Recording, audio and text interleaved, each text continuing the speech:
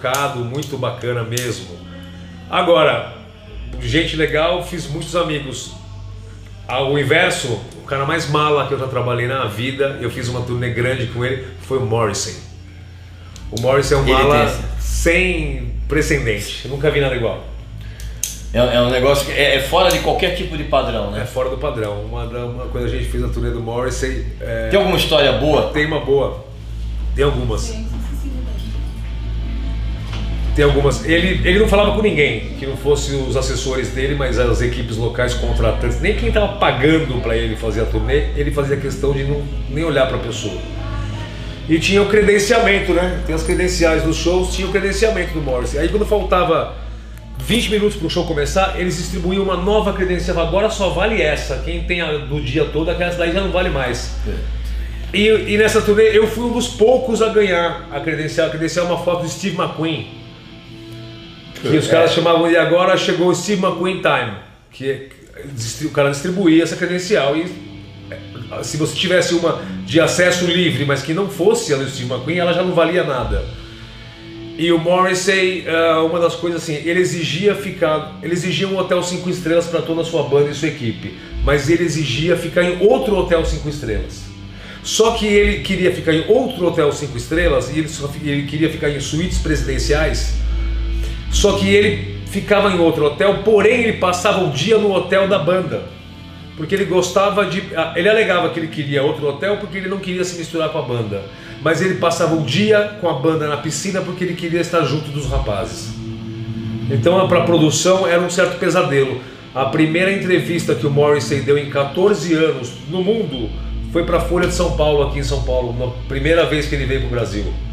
E para fazer essa entrevista, ele exigiu que. Ele já estava num hotel 5 estrelas, que eu acho que na época era o Maxud Plaza, ó, saudoso. Ele exigiu que abrissem reserva para ele num outro hotel 5 estrelas, onde ele fez a entrevista, e ele exigiu que abrissem outra reserva em outro hotel 5 estrelas, onde ele fez as fotos. Então você vê que o cara era um pau no cu, né? Porque você tinha que gastar um milhão de dólares em três suítes presidenciais, Pra em três quê? hotéis, uma pro cara dormir, uma pro cara tirar foto e uma pro cara dar entrevista. E aí. E era, Fora a outra que ele tinha que ficar com a banda. e era tudo assim. é, é, a gente fez uns shows. A gente fez um show em, em Buenos Aires, no Luna Park, que é uma casa, uma, um- uma arena de show clássica em Buenos Aires. E o show foi lotado, foi o Luna Park sold out, sucesso absoluto. E ele não passava som também fazia sei lá quantos anos e ele resolveu que ele queria passar som no Luna Park. E foi uma, a logística para isso acontecer foi uma desgraça. Outro que é um cara Then what or who was Jesus as far as you're concerned? I think it's the it's a defining question for a Christian is who was Christ, and and I don't think you're let off easily by saying a great thinker or a great philosopher or a, you know, because actually he went round saying he was the Messiah. That's why he was crucified.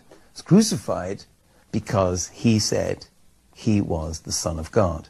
So he either, in my view, was the Son of God or he was Not. no, no, nuts. Nuts, yes, Forget yes. rock and roll messianic complexes. This is like, I mean, Charlie Manson type delirium. And I find it hard to accept that all the millions and millions of lives, half the earth, for 2,000 years, have been touched, have felt their lives touched and inspired by some nutter. I just, I don't believe it. I, I So think- therefore it follows that you believe he was divine. Yes, And therefore it follows that you believe that he rose physically from the dead. yes, yeah. I'm into, uh, I, I'm no problem with miracles. I'm living around them. I am one. So, so when you pray then you pray to Jesus, Yes, the risen Jesus. yes, And you believe that he made promises which will come true. yes. I do. How do you feel to be here, Morrison? I feel very excited. You feel like you're coming home. Uh, no, not really. I'm just very excited. Bono, how do you feel to be in Belfast again?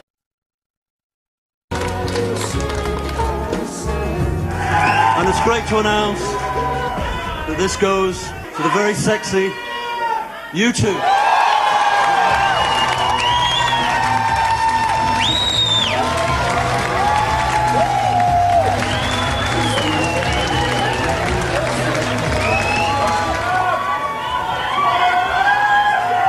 Thank you very much. Thank you. Congratulations on You two.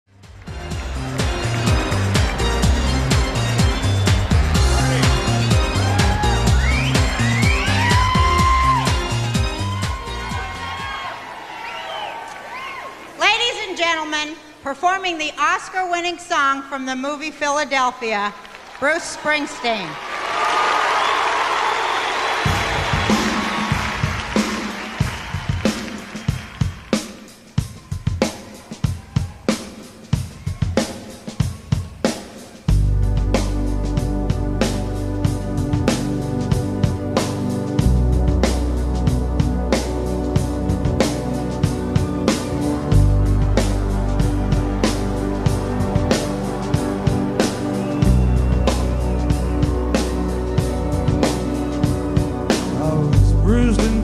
I could tell what I felt. I was unrecognizable to myself.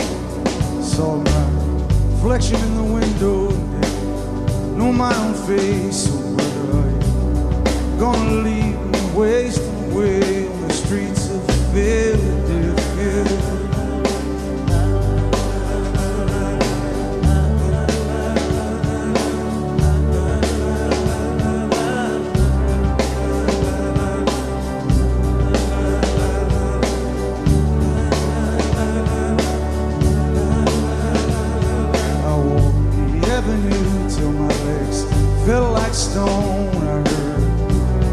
Voices of friends vanished and gone. At night I could hear the blood in my veins, just as black and whispering as the rain on the streets of Philadelphia. Vê se a gente faz mais, né? Tá ok, vocês estão quase prontos pro show, né? Toca alguma coisa pra gente. O que que vocês vão tocar? I will follow.